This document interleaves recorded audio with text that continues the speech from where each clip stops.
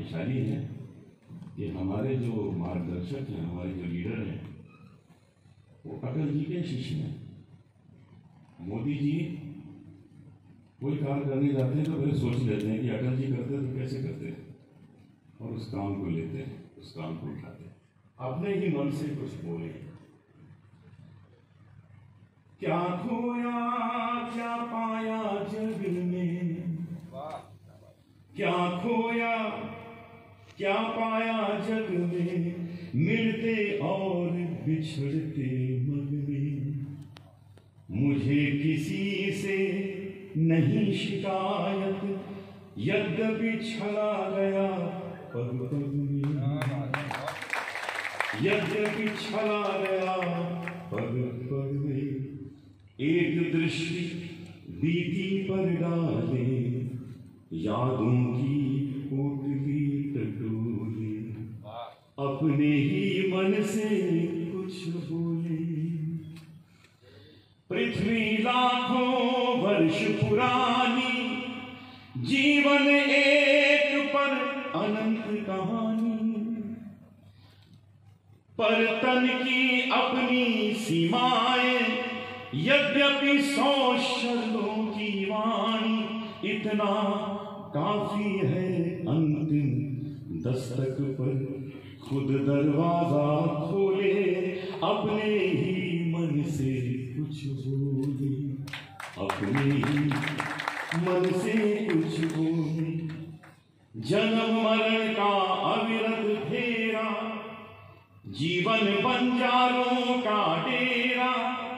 आज यहाँ कल कहाँ कूच है, कौन जानता किधर सवेरा। अंधियारा आकाश असीमित, प्राणों के पंखों को तोले। अपने ही मन से कुछ बोले, अपने ही मन से कुछ बोले। एक उनकी रचना और सुनाता जीवन की डोर छोर छूने को जीवन की डोर छोर छूने को मचली। जाड़े की धूप स्वर्ण कलशों से फिसली। जाड़े की धूप स्वर्ण कलशों से फिसली।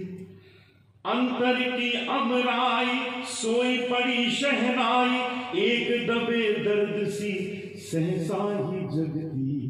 नई गांठ लगती नई गांठ लगती नई गांठ लगती नई गांठ लगती।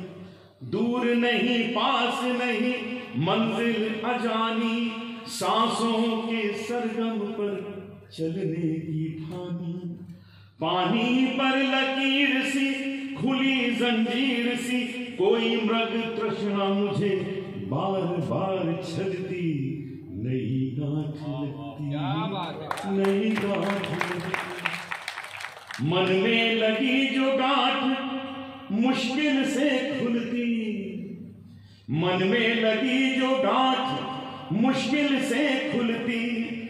दागदार ज़िंदगी न घाटों पर भूलती दागदार ज़िंदगी न घाटों पर भूलती जैसी की तैसी नहीं जैसी है वैसी सही जैसी की तैसी नहीं जैसी है वैसी सही। कबीरा की चादरिया बड़े भाग मिलती। कबीरा की चादरिया बड़े भाग मिलती। नई गांठ लगती नई गांठ लगती नई गांठ लगती नई गांठ लगती। यहाँ कबीर का नाम आ गया। तो एक दोहा कबीर का हमारे अटल जी के लिए चरणों समर्पित है। कबीरा, जब हम पैदा हुए,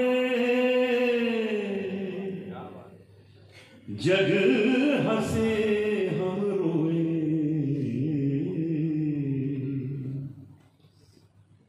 स्वाभाविक है, कोई बालक जन्म लेता है तो सबसे पहले रोता है। नहीं रोता है तो उसको रुलाया जाता है। और वो जैसे रोने लगता है, सब खुशी मनाने लगते हैं।